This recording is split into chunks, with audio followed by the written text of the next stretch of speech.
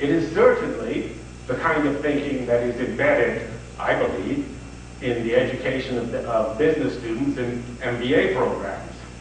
And it is implicit in Milton Friedman's shareholder model of the firm, which states that the sole purpose of the firm is to improve the stock price. After all, if only the interests of the shareholders count, then there can be no common purpose that involves all members of the firm. By this kind of thinking, but this kind of thinking, Mr. Stack says, is capable of destroying the company from within. What Jack Stack set out to create was a community of entrepreneurs rather than just a collection of people with jobs. Indeed, Stack wanted to do away with jobs and the employee mentality altogether.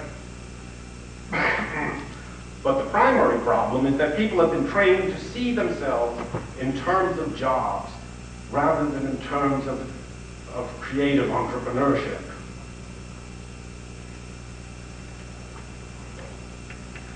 They see themselves merely as performing a function for somebody else, usually somebody very remote. Creating this community meant realizing that the business was not an end in itself, but a means to an end. A tool that allows us to accomplish the things that matter most to us. And those things must transcend business to have real meaning and value. To accomplish this goal, to create this community, Springfield Remanufacturing used two means, education and equity sharing. To educate members of the firm, it would be wrong to say employees, Stack invented a system of informal but continuous education he called the great game of business. If the workers are going to take responsibility for the firm, they must know the rules of business. And the great game was the means of teaching those rules, from the simplest to the most complex. As Stack evaluates the results of the game, he notes that, quote, we have had dozens of employees rise from the shop floor to top management positions, and they're far better qualified than a lot of MBAs I see, end quote. The game required that the firm practice open book management. If all members of the firm are to be responsible for the firm, then they must all have equal access to the books. Further, you cannot truly educate employees unless they can see how their actions affect the firm. And this is impossible without looking at the books. But the greatest benefit, as Jack Stack notes, is that when you open your books, really open them, you also open your mind. And neither your mind nor your books will ever be closed again. Continuous education and open book management frees the firm from the constraints of the division of labor, which confines each worker to just one task, and from the quasi-militaristic top-down management, which confines responsibility to just one group.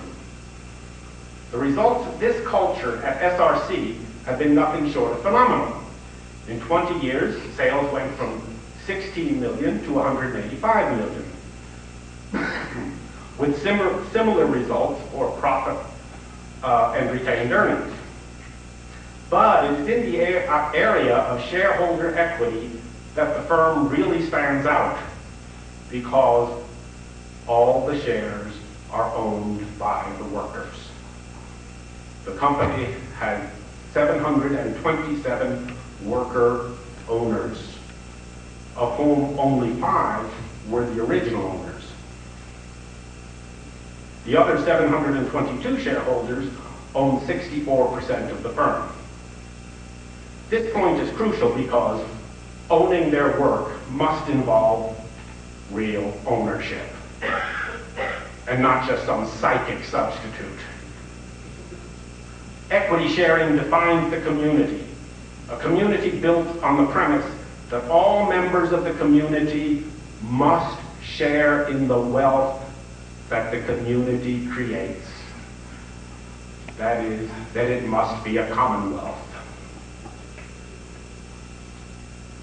This notion of sharing the output is what we call distributive justice. It has been an intrinsic part of our understanding of justice from the time of Aristotle until relatively recent times.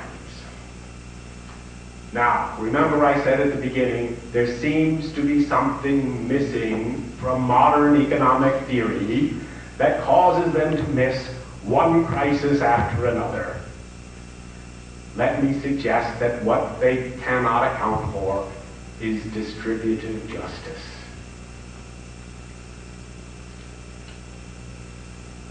And without accounting for distributive justice, they cannot give a rational description of any economy. And if they can't describe it, then they can't see even the most obvious of disasters taking place until it is too late. Now, this enlightened way of viewing business allows the Pope to imagine new forms of enterprise. Quoting from the encyclical, alongside profit-oriented private enterprises and the various types of uh, public enterprise, there must be room for commercial entities based on mutualist principles and pursuing social ends to take root and express themselves. It is from their reciprocal encounter in the marketplace that one may expect hybrid forms of commercial behavior to emerge, and hence an attentiveness to ways of civilizing the economy. Charity and truth, in this case, requires that shape and structure be given to those types of economic, uh, economic initiative which, without rejecting profit, aim at a higher goal than the mere logic of the exchange of equivalents of profit as an end in itself. Now, once again, we may ask ourselves if Benedict is merely fantasizing about new forms of enterprise. But in fact, such enterprises are not new. They exist, have always existed, and are, by and large, quite successful. Many examples could be advanced. But some of the more prominent ones include the Mondragon Cooperative Corporation of Spain or the cooperative economy of Emilia-Romagna. Me too. Um,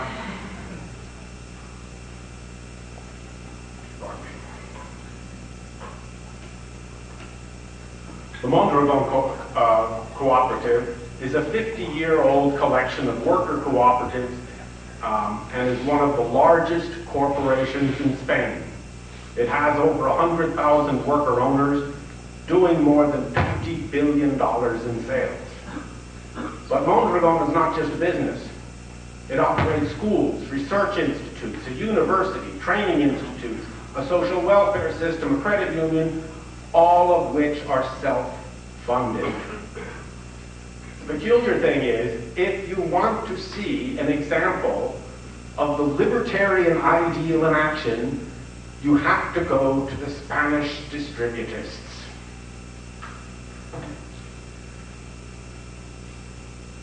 In Emilia-Romagna, the area in Italy around Bologna, worker cooperatives provide 40% of the GDP.